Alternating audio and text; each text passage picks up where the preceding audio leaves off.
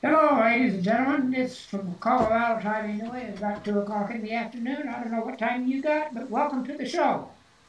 This is coffee time again. I am Dale, your host, and today, exposing the truth. And today, we're exposing the truth with Brother Gregory. He is going to be talking to us about himself and his, and his mission.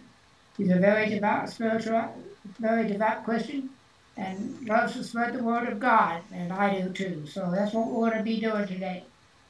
So sit, lean back, grab your coffee, enjoy the show.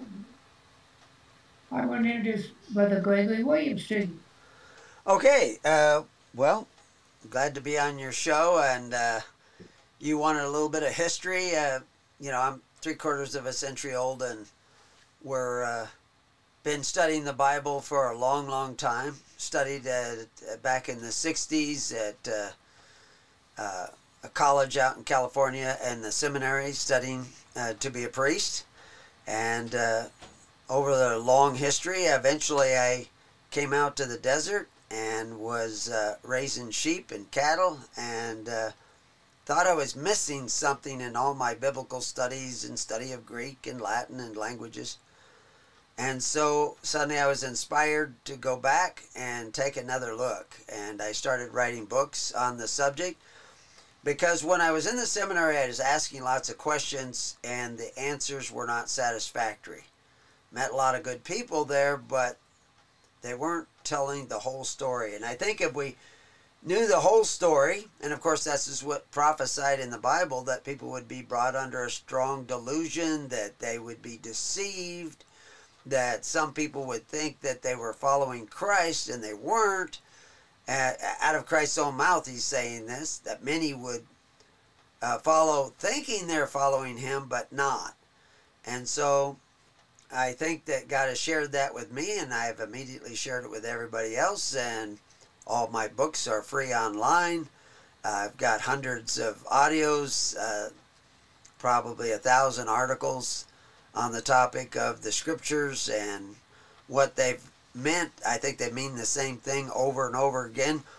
But we were warned that we would start to miss something, that we would be deceived. And uh, a lot of people have theories about that, but we have probably 10,000 footnotes in our books. so to, to show you that uh, we've done our homework. And we can talk on all kinds of different subjects. We uh, probably will. Okay. As time goes on, I'm gonna. You most, you know, you didn't have a list of questions that you'd like to answer. Uh, well, uh, all the books that we've written, all the articles are usually the result of somebody asking a question, and so that we have a network that we put together at preparing you based on geography so people can join you know if they're in texas or in they're in different states they can join that mm-hmm. network ask questions there there are people who have already studied a lot of the material there's a huge volume of material yeah. and and uh, many of those questions are already answered but i think christ what christ was really preaching the details of what the early church was doing if our modern church was doing that we wouldn't be seeing the loss of liberty in America and the world would, wouldn't be seeing. I mean, there'll always be corrupt people around and corrupt influences, yeah. but they would have less of a hold on our society, and we would be much more prepared for whatever new world order is out there gunning for our liberties. And uh, the more you understand the depth of Christ's gospel, the better off you are. And I, I don't think that the learning of that has any end to it. It's an infinite kingdom, so we're constantly should be looking and learning more about what Christ in the early church was doing. So where can you get the book? Uh, if you go to hisholychurch.org, there's a, a website. Uh, there's a search engine up in the right hand corner on the page. It says hisholychurch.org, all one word and search the title of the books or search the word books. The first one's Covenants of the Gods, and it talks about the contractual nature of government. And that's really where my first writing started. And because I had the religious background, the Greek background, the background in languages and history, uh, and my father was an attorney who wrote law books, wanted me to become an attorney, but I never did. Uh, I had this blend of history, law, and the Bible. I mean, the Bible mentions law and government 700, 800 times. Mm-hmm. Uh, it mentions religion five times. Now, what religion should be, it mentions a lot, but the word religion only shows up five times. Four of those times, it's in a used in a bad sense, talking about bad religion. Yeah. One one time, it's talking about pure religion, and pure religion was how you take care of the needy of society. And I think that's where one of the big conflicts comes from. And we don't just depend upon the Bible to show this. We can you know somebody doesn't have a biblical background, we can show them in in history, we can show them in American history what was making America great in the early days. Almost mm-hmm. all public schools were built by private donations, not by tax yes. dollars. The more you relied on tax dollars, the more you opened the door to federal government influence. And the federal government, we were warned. But I recently uh, we have articles up on Patrick Henry and Jefferson yeah. and all these different people. And Patrick Henry warned that the Constitution was written as if good men will take office. When bad men take office, they will steal your rights through ambuscade. And it says the treason will be brought in by the president. And I'm not sure that we're not seeing that unfold right now. So Patrick Henry not wasn't your common lawyer. He was more a prophet than yeah. a lawyer. yeah, I understand. Uh, I'm a history buff. Right. The original concept of Coffee Time Again was history and uh, the past repeating itself. Oh, absolutely. Absolutely. That's the original. And I got side. I, I go up on tangents once in a while just to take a break. You, history background. That's what well, our history background you're, you're absolutely right. If you want to know the future, study the past. That's something right. I always say. Exactly. Because we're, whatever we did wrong before, we're going to do it again, especially if we don't know our own history. That's and one of the don't. reasons why your public schools haven't been teaching history for decades. And no. then the history they have now started teaching isn't the true history. No, and not only that, but there are school districts on the East Coast and down into the Southern, which starting American history, they do teach it, but it starts in 1860. a little late. yeah, well, wait a minute. What happened to George George and, and Jefferson, Jefferson and the rest of them? Yeah, uh, even, you know, when I was going to school, the history books that I was looking at were very old. I, I only went to private schools. I mm-hmm. never went to public school. And uh, but I, I tell you where I really started learning history is when we home taught all our children. I have six children, about mm-hmm. 15 grandchildren and some great grandchildren. Yeah. And, uh, but we home taught our kids, and my uh, oldest son, when he was about eight years old, he was reading about George Washington in one of these little kid books. Yeah. You know, and I said, So who was George Washington? He said, Well, he had wooden teeth and he, you know, he chopped down a cherry tree and you know, but it's an eight year old. Okay. Yeah. Uh, but I said, but that doesn't tell you who he was. And so I I started looking it up and I found out that he was a prolific writer, had a diary mm-hmm. that is volumes of information.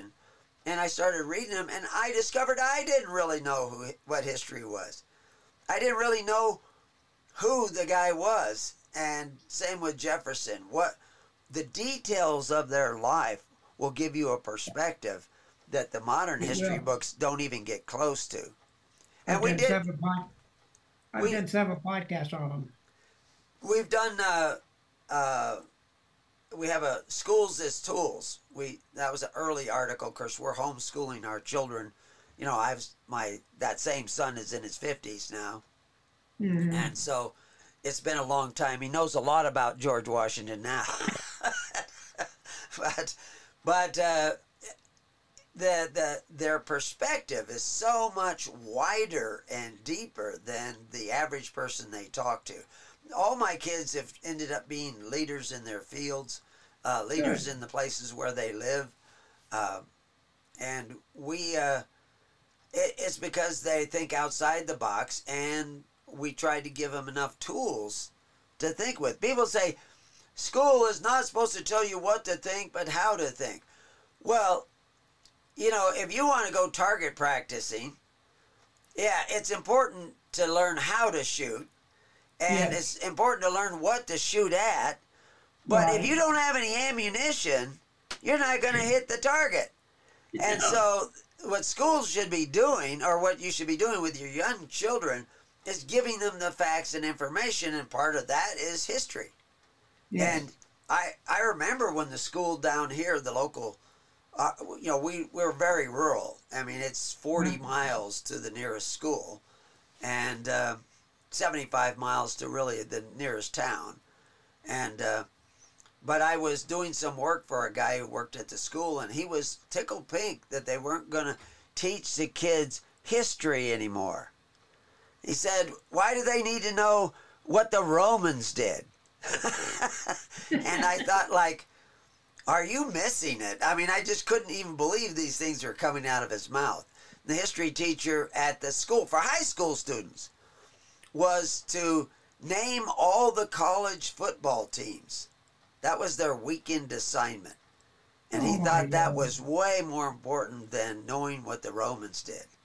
what the Romans did is happening to us today. Yes. Follow the Roman, if you're studying follow the Roman Empire, and the correlation between the corruption, the bread and circuses, and all that's happening today. Yes. History repeating itself. And the, the free bread and circuses. Uh, the, yes. And we, we go into great detail, even though we're mostly centered around the Bible.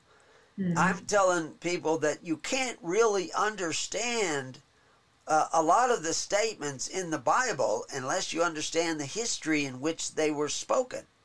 Right. I uh, forgot what I was going to say, which is not unusual because I I'm three quarters of a century old too. okay. Yeah. well, I'm a year short. I'm a year short. I'm 74. But uh, I have a favorite saying about history: the culture that forgets its history has no future. Yes, absolutely. Uh, because you don't you don't have any perspective. I recently wrote an article on uh, Edmund Burke, and we did a show on him too. So I put up the recording on the same page. The all of our articles, all of their articles in the last 10, 15 years have been put up at preparingyou.com. That's another one of our websites. Okay, preparing uh, you. And and you can go there and look for the books, but if you want to actually download the PDFs, you have to go to His Holy Church because the PDFs yeah. aren't on preparing you. We link back to His Holy Church, but uh, but a lot of the books are are written and, and compartmentalized. The second book was Thy Kingdom Comes, and we tried to put what it meant. I mean, this Christ came preaching a kingdom, which is a mm-hmm. government.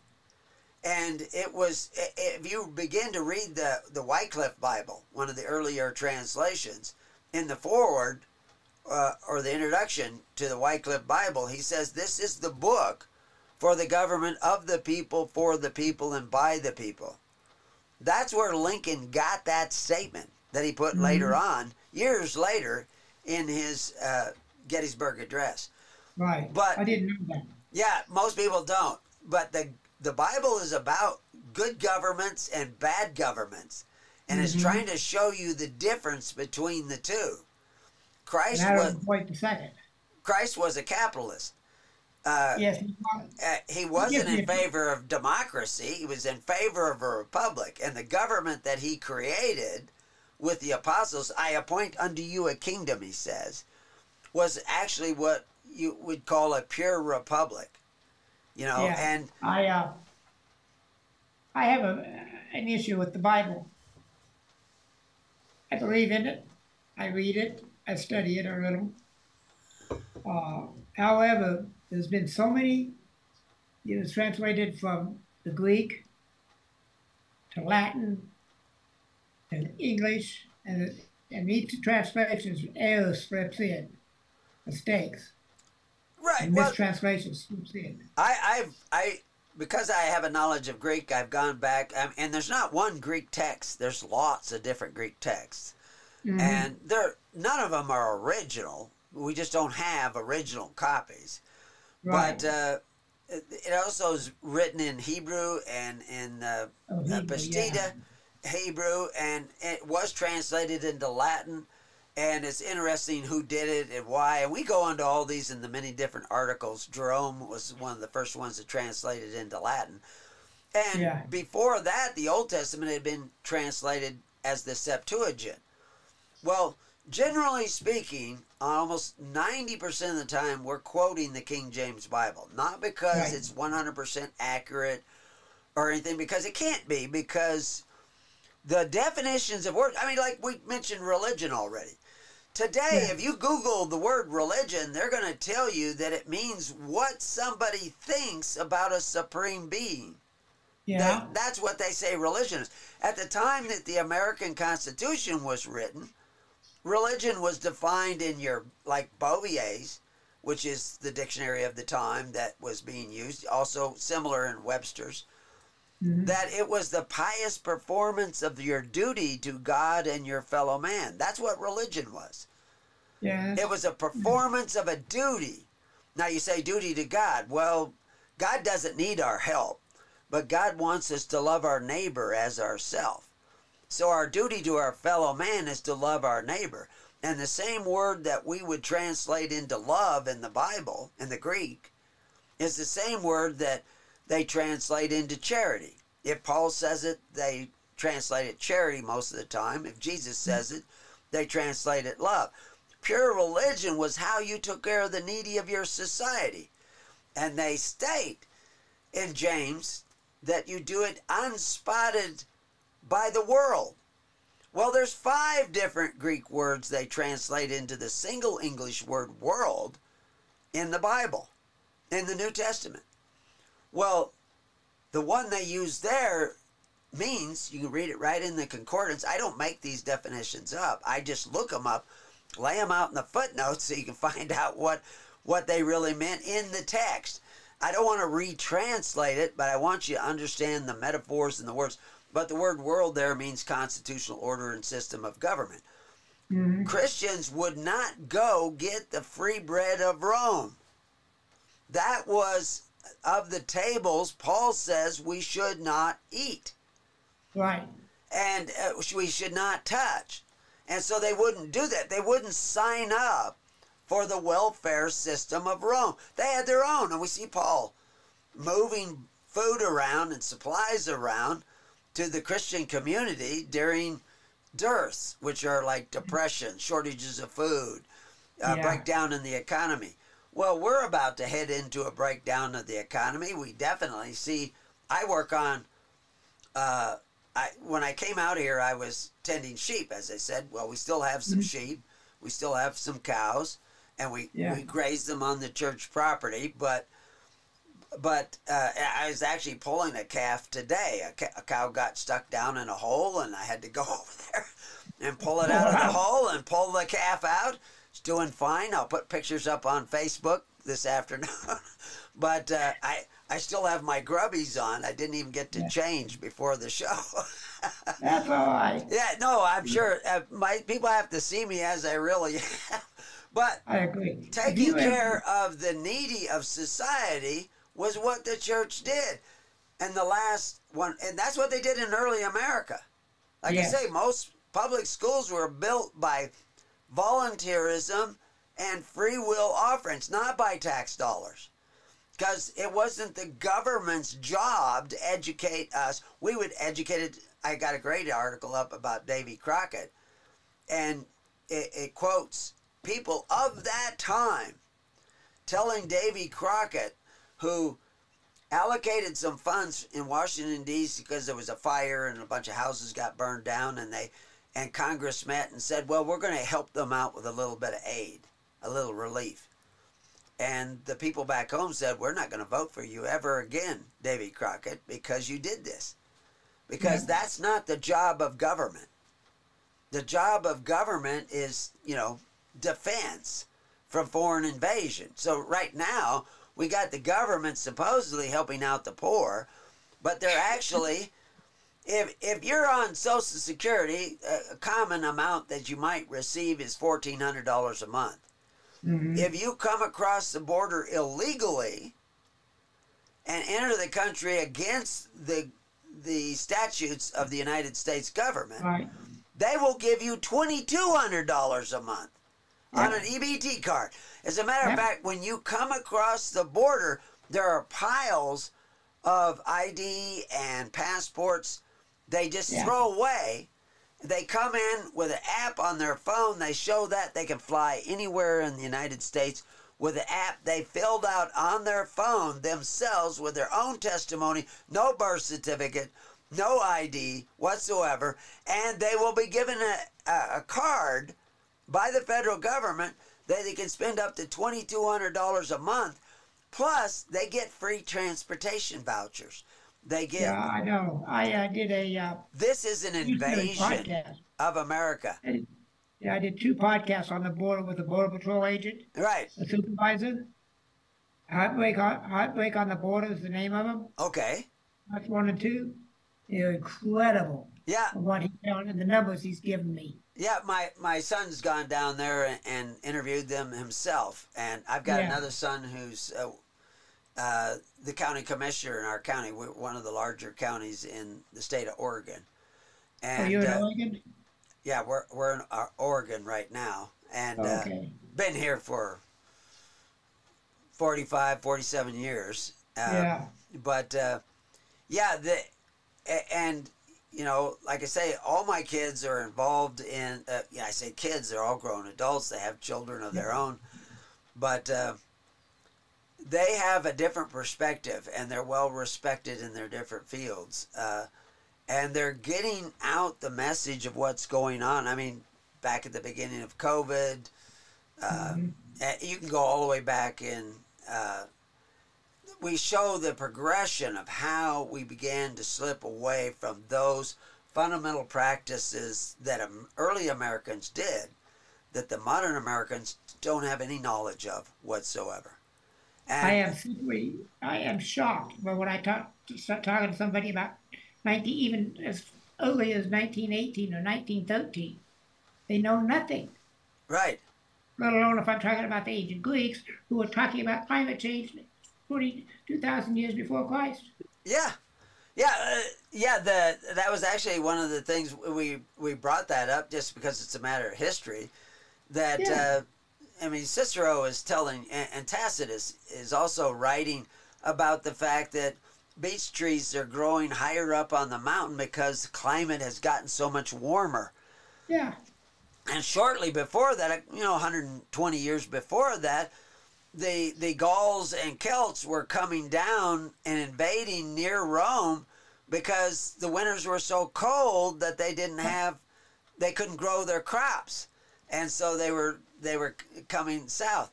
And all the things that America used to do, you know, like we used to have 7 years supply of grain on hmm. the wheat farms. I've done that too. Worked on the wheat farms in North Dakota. Seven years supply on the farms in you know all over from Kansas to North Dakota to Washington in silos, and Yeah. the government ended that, and the people have now destroyed those silos.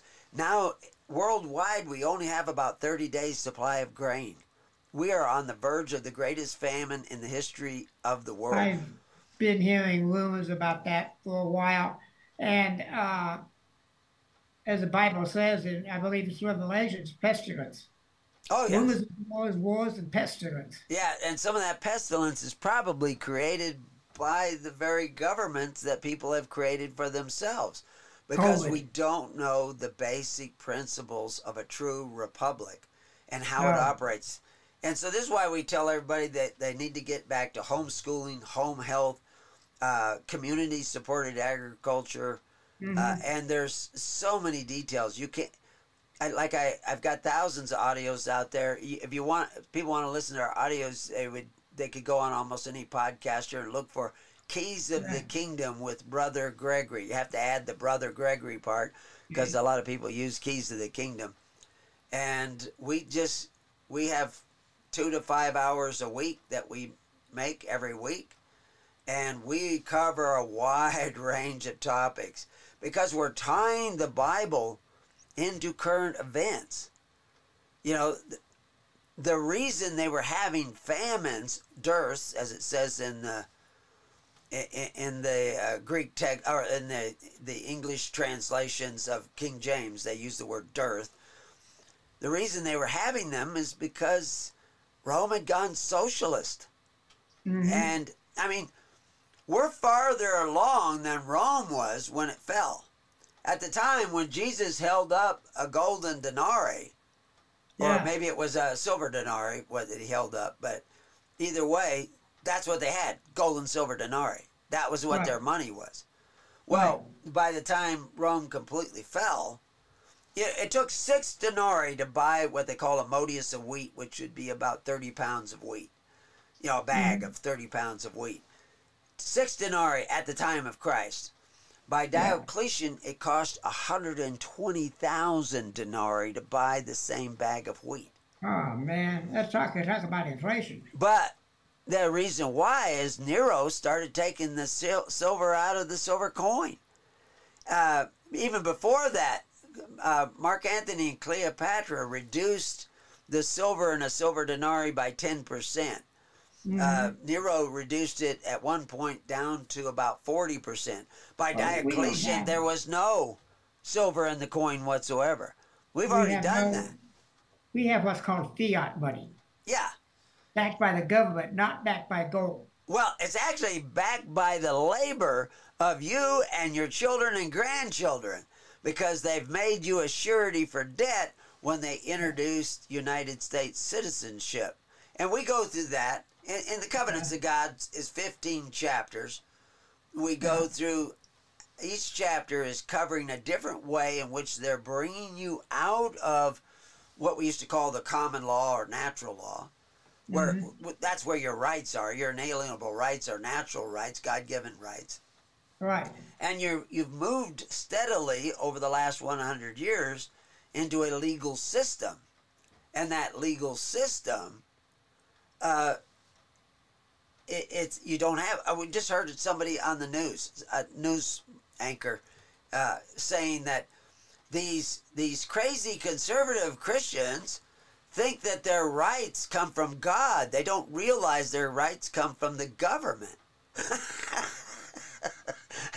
and you go like, you know, our God-given rights. Yeah, that, I mean, that, she hadn't even read that Constitution or the Declaration of Independence or anything. You got to read the darn thing to understand it. But she was a young woman, and she was an anchor. And well, you're, you you know, Jefferson said, you know, 200 years ago, if if you read if you don't read the paper, you're uninformed. If you do read the newspaper, you're misinformed. so but you're even more right today than he was back then. Yeah, I don't know how many times. Uh, you know this? I don't know if you know this or not, but all the media outlets are owned by six corporations. Oh, absolutely. Yeah. Every one of them's owned by six. Only six. Yeah. So we're not getting anything new. The news. I don't give a darn which ch- channel you're watching or which broadcast you're watching. We're not getting the real news. Yeah, if you if you watch us, you will get it. we don't talk talk all the time about what's in the news, although we do. I have an afternoon show. I do more of that in, but even when I do the I morning don't... shows that are biblical based, you know, we're going through. We went through Exodus. We go through the prophets. We go through. We're going through John right now.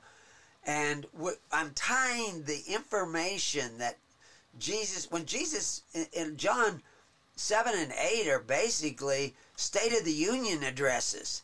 He's telling you how the government works.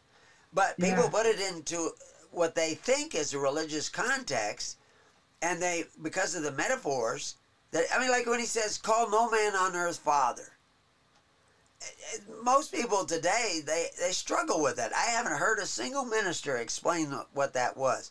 But in the Greek text, you see the Latin word patri. which means father. Mm-hmm. Why is he writing? Why are they writing patri there? Now you can write patri in the Greek because the Greeks were stealing stuff from everywhere, and the Yeah. Romans were stealing. You know, they were borrowing words everywhere, like Shakespeare and stuff.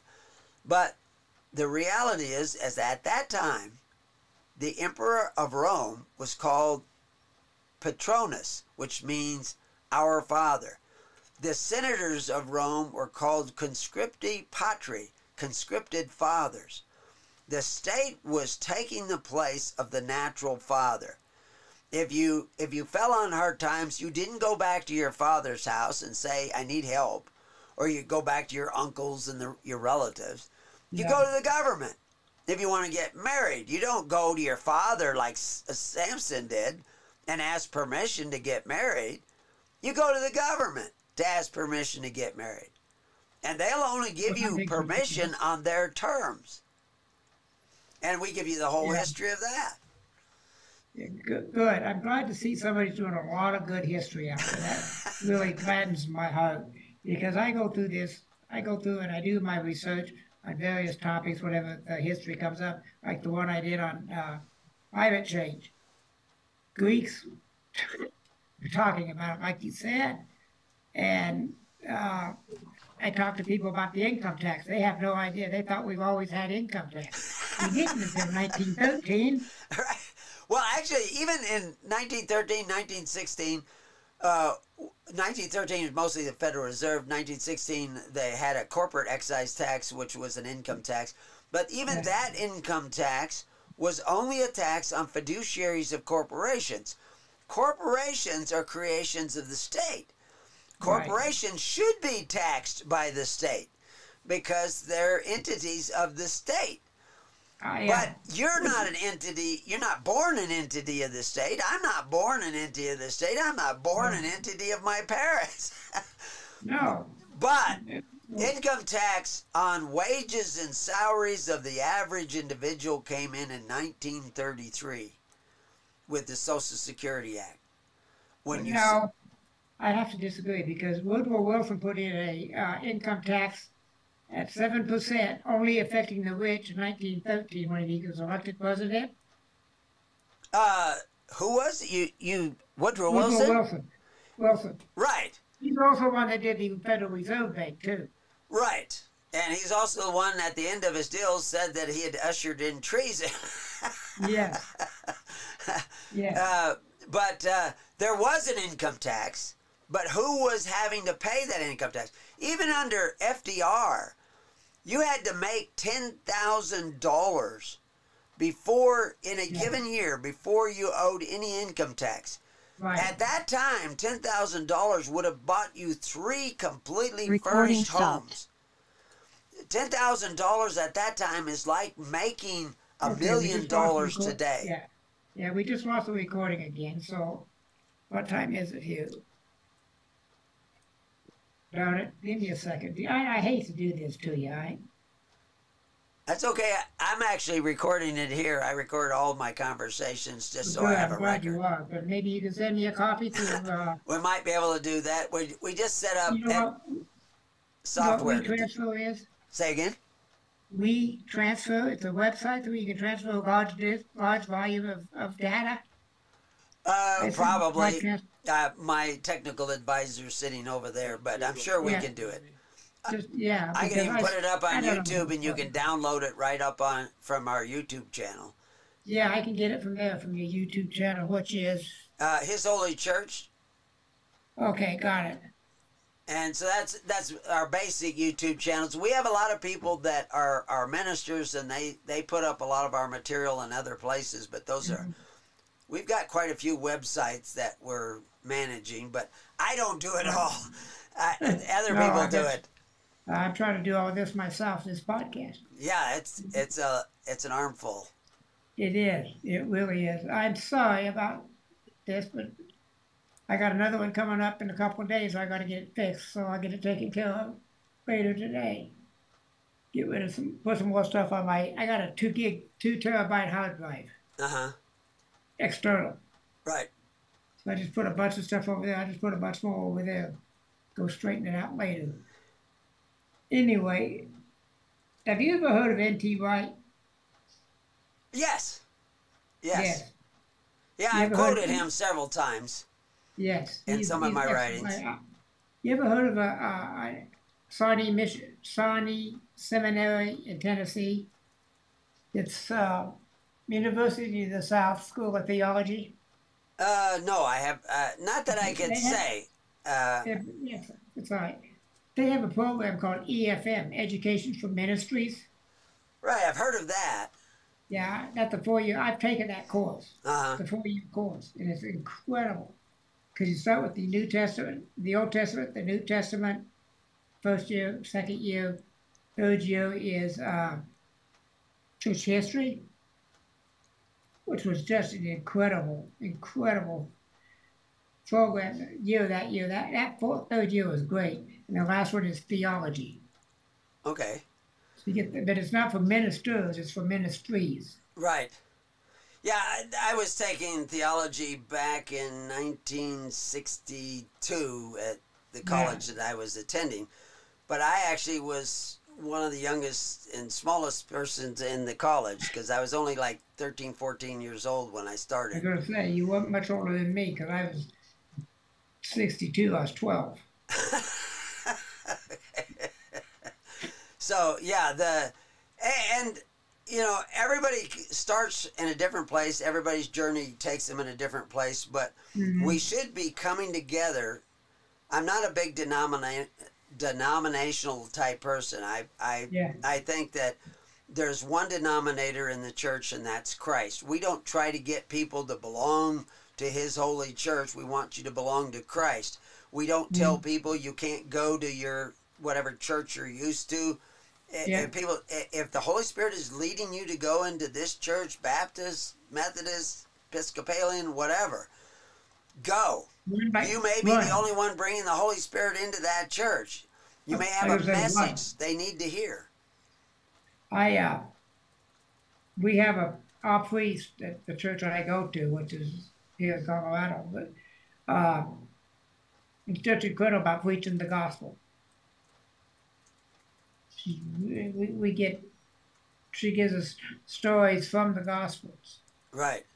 in her in her sermons and in when we talk. She always has something to go with.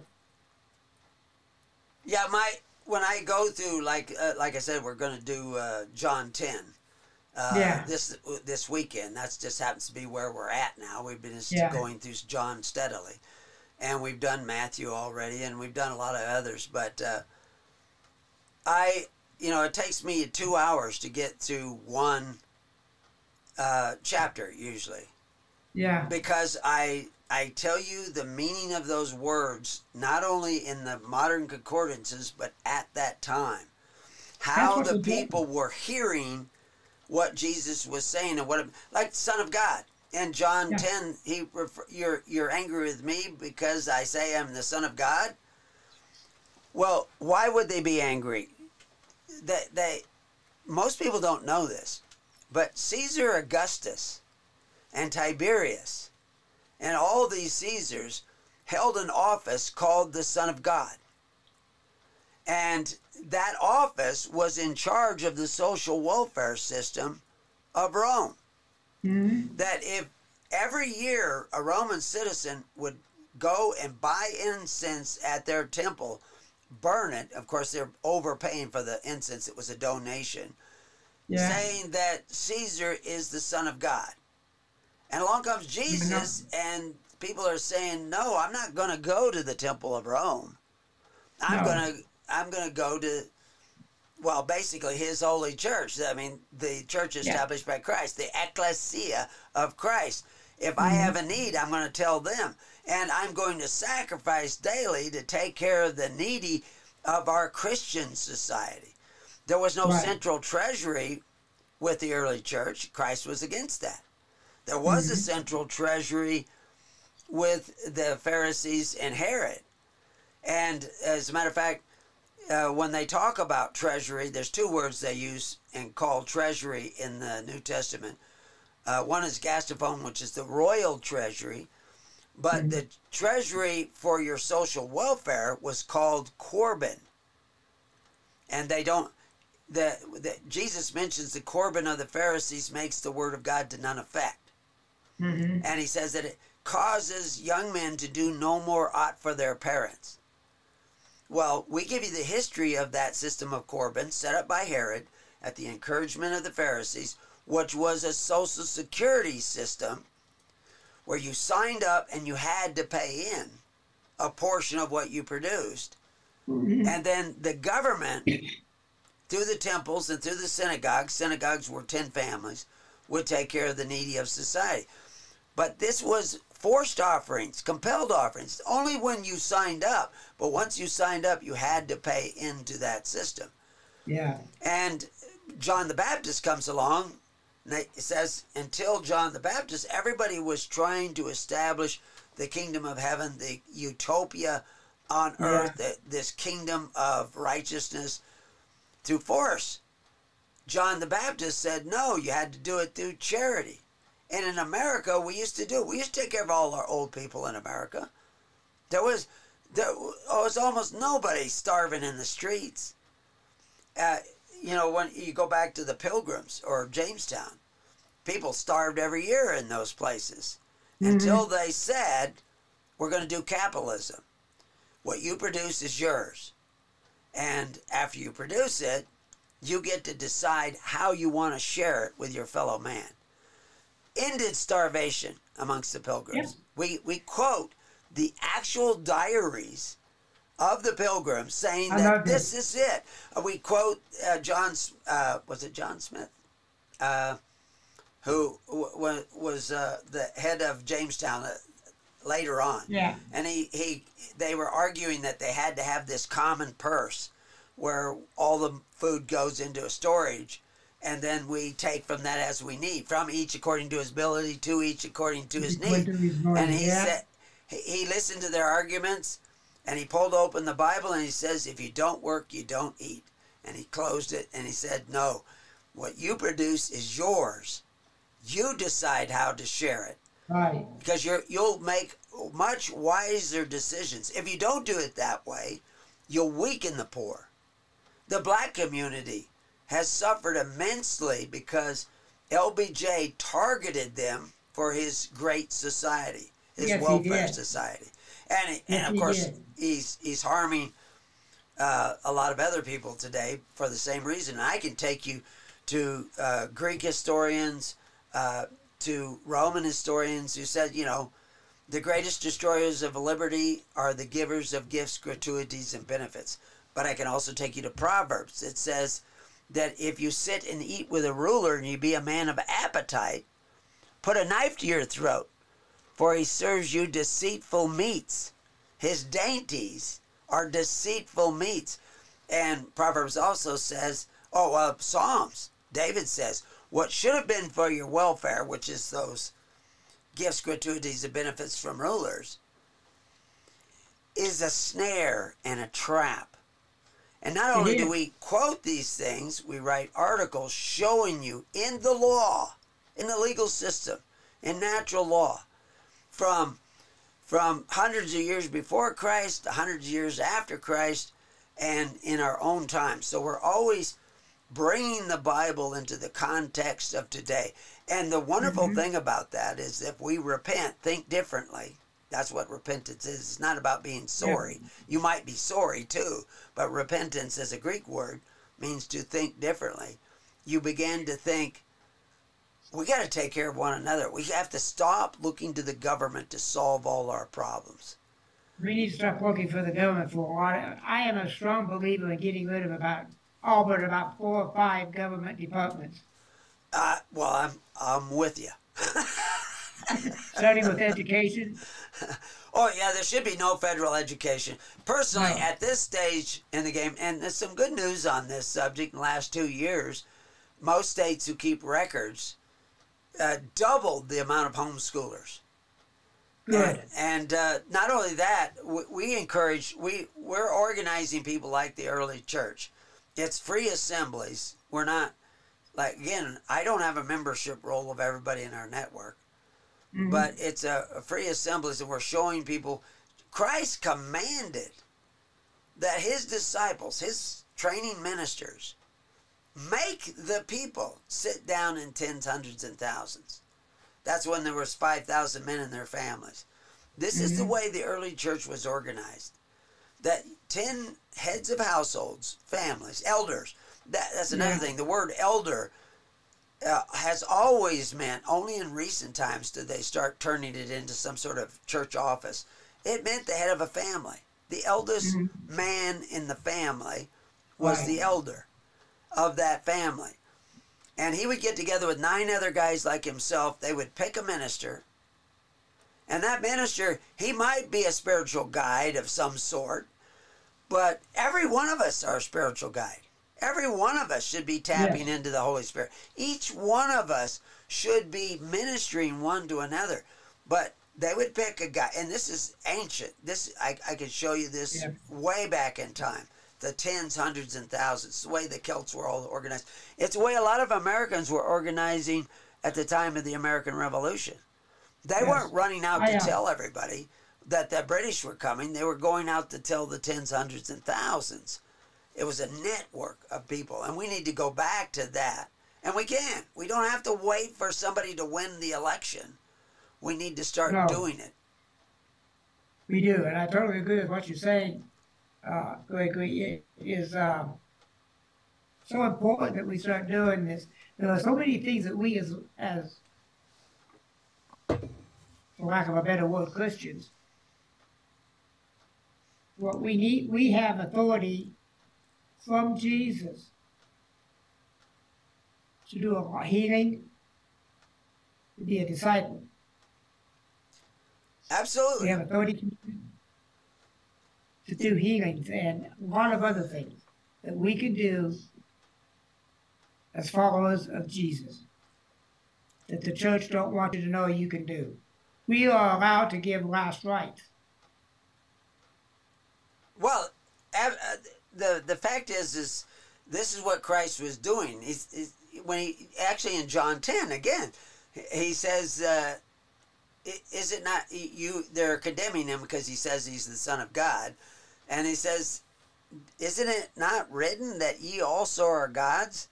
No, it doesn't mean that you are a God over me, a ruling no. judge over me. It means no. that you are the judge. You and the Holy Spirit, hopefully, are the judges to what you should do. Right. What you should give. What when you should give, when you should not give. Somebody was asking me the other day, well, shouldn't shouldn't I just give to these people over here? And I says, well, are you making them stronger or weaker? You know, the, the government just gives to everybody who says they're poor. And now everybody who says they're an illegal immigrant, they get, they're giving to them. I've been thinking about becoming a changing my last name and becoming an immigrant. I make more money.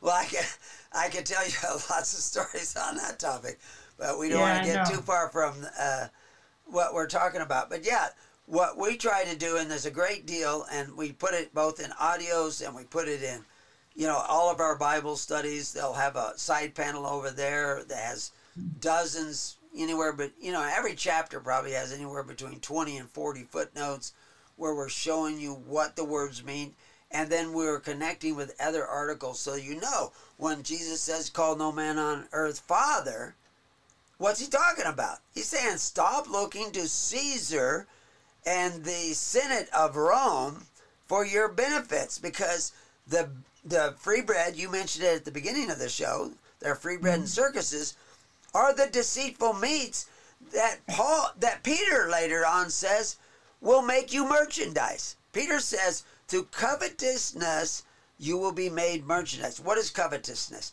It's desiring what belongs to your neighbor. Right. And when you desire benefits from a government that doesn't reach into its pocket, it reaches into your neighbor's pocket and it gives you it takes away from your neighbor and gives to you you have yeah. agreed now that it's okay to take from my neighbor to get what i want well if that's what you judge is true and righteous then it's okay your neighbor takes away from you to get what he wants. Right. And and that makes us perfect savages. We're yeah. using the teeth of the government to take a bite out of one another. And we've been doing it for 50, 60 years, more and more as things have progressed. Goes on, yeah. Certainly. And so now we've been devoured and we're saying we want our rights back. You want your rights back, you have to take your responsibilities back. And Right. what your religious responsibilities is start taking care of one another. Now, I, I mentioned on the last guest show I was on that if uh, I had a heroin addict here and he wanted help, I might give him help, but he's got to get off the heroin. yeah. He's got to show me that he wants to change. He wants to. Out here, we work. Th- There's calluses on there. Almost all of our ministers have calluses on their hands. A few of them. do a lot more paperwork, but uh, they are self-supporting. yes. And but Wow. what they are doing is not. They're not sitting up at the front of a big church full of pews, trying to tell you what to think. They're connecting you to one to another, so that Mhm. you can minister one to another. Each of us are supposed to be ministering one to another. But Yeah, if you're going yeah. to do that effectively, when you got millions of people, or or ten thousand people, or hundred thousand people, you have to network. Because I can't know everybody. For some reason, God's got me starting this network. I can't remember people's names. I really have a hard time doing it. I have to write it out because I don't think in, in words like other people do. Yeah, I, And- I had the same problem. I, I've never been able to do that. But if we do the tens, hundreds, and thousands, I don't have to remember everybody's name. I just have to remember maybe 10, 20 people. And I tell you, in the days ahead, during the decline and fall of the Roman Empire, you know, like Ed, Edward Gibbons wrote a, a great five volume set on the on the subject. Mhm. Uh, the Christians had this network. They didn't wait for FEMA. We have a thing. Yeah, uh, you go look up FEMA at preparingyou.com, one of our websites, and we actually have a page called FEMA. Except for our page stands for Faith Emergency Ministry Auxiliary. it doesn't. It does not stand for Federal Emergency, uh, whatever agency Federal administration.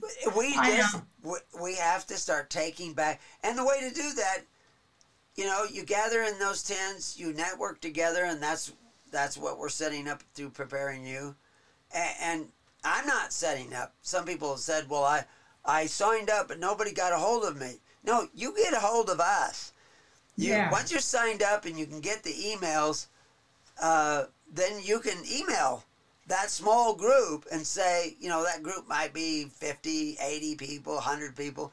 If, if the group gets much bigger than that, we break it off and make s- smaller groups. But those are just email groups. Now, I can send to all those groups in a matter of seconds. Yeah, But we we have people that grow wheat in the network. We have people who grow cattle and sheep in the network. We have people with all kinds of skills, health skills in the network. But we have to create those lines of communications that's so that when thing to do. things go down, we can still find one another and help one another. And that's what the early church was doing.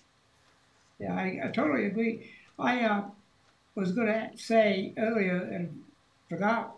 The decline actually started under Woodrow Wilson. He was our first progressive president. And, and that's when the decline started. It was in 1913 when they elected him president, which is one of the biggest mistakes this country's ever made. Right. Uh, and, you know, that's interesting how he got elected president. Yeah, was, was. Te- Teddy Roosevelt created the Bull Moose Party Right. and split the vote. That's right. Otherwise, he would have never got in. No, Teddy Roosevelt would have been. Yeah, but the the fact is, is that Teddy Roosevelt's own party didn't support him, No, so he had to create another party, and he split the vote. That we've seen this happen before. Uh, Yeah, and the reality is, I don't know what's going to happen if we even going to have an election this year. I but- don't know. uh, the fact is, is I don't care who gets elected. I, I mean, I do care, but if we don't change down here where the people reside, if we Right. don't start thinking differently and change our strategies away from thinking that we just got, I mean, look, go back to the Bible, Samuel, Samuel eight, where the people said we want a king.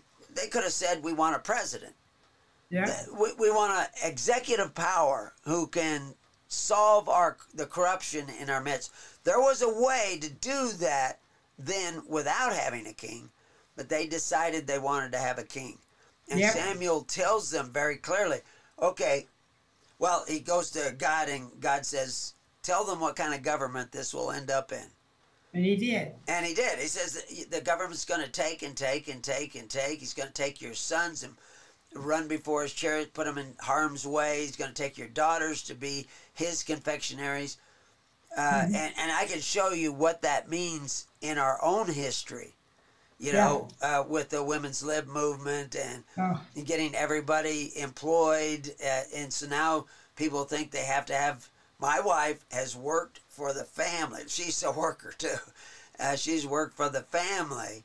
Of course, we Mhm. have a farm and uh, raise livestock. So, uh, my biggest problem with her is I trying to stop her from overdoing. it. of course, she she'll tell you the same thing with me, but uh, Yeah. you know we're we're both up there in age and we're we're still working more than. Yeah, when I turned seventy, I told her I says, "Well, I guess now I can outwork two 35 year olds because I'm 70. and sure enough, I did it. But- well, I hate retirement. I personally, I hate retirement. yeah. Well, people ask me when I'm going to retire, and I said, "Well, I was tired yesterday, and I'm going to be retired today." Yeah. Way it it keeps goes. keeps us going. And Yeah. uh, like I said, you know, I was pulling a calf today. That was a hard calf because, well, the cow, like I said, was down. We had to get the cow out of the hole. And, Yeah. And me and another sixty-some-year-old guy were doing it, and uh, had to hook a truck onto the cow to pull it around. Got up, then we had to grab the feet of the calf that was inside of her, and we were both holding on to it, and the cow's walking away, and we pulled Yeah. that calf out. It's doing fine, like I said. But so that's real work. That's not is. sitting around just pushing a pencil. But I'll be up at five. I was up at four this morning, writing what we're going to talk about in John ten. And I tell you that if people started listening to our, you know, Exodus, uh, our our our programs on Matthew, they're all up there preparing you. Uh, you will get a wider and more in-depth view of what the gospel was really about and how it relates to the problems we see coming down today. Rome Yeah. was the new world order of its time. Not originally. Originally, Rome was a republic, but it Mhm, degenerated into a, a socialist, autocratic state. And there were Yeah. people 150 years before it did that that were warning that if it continued, if the people continued with an appetite for benefits and the habit of receiving them by the rule of force and violence, in other words, through taxation, Mm, that they would degenerate and Yeah. uh, and find once more a monarch and a king, and that's exactly what happened in Rome, and Well, it's we what was warned about our happening in. Judea. Yeah, we were warned about, about our government from Washington and Jefferson and all of them told us how bad of a deal we could put ourselves into Yeah. if we weren't careful with our republic, including Benjamin Franklin. Yeah, well, I just told you at the beginning. you could hold on to it. Patrick Henry was saying the same thing. He he was uh, uh, he was against the Constitution. Yeah, And, and later on, Washington actually said things, but we we miss. Uh, we have a book, Contracts, Covenants, and Constitutions. Again, free Mm-hmm. online uh, at His Holy Church. Each chapter is dealt with, and we have audios with it to help you lead through it. Uh, so we're not in the book selling business. You can order the books from us, but we'd prefer you just to download it and read it yourself because it's a lot less trouble for me. did uh, did I lose your sound just then? no, I have three websites. Did you lose me? Uh, just briefly, I saw your lips moving. I didn't hear anything, but Okay. it Yeah, said yeah, there was an interruption in the internet. I got three websites to check out on you. Okay, Uh, and it's time for us to go, I'm afraid. okay, okay. It was great And meeting you. Go to, I'll go to YouTube here shortly, probably tomorrow. I'm not going to have time today, but uh, and uh, download this so I can get it published. Nice talking with you. Nice talking to you. I really enjoyed this. This is great. Okay. All right. Have a good one, John. Thank you. God bless you. God bless you too.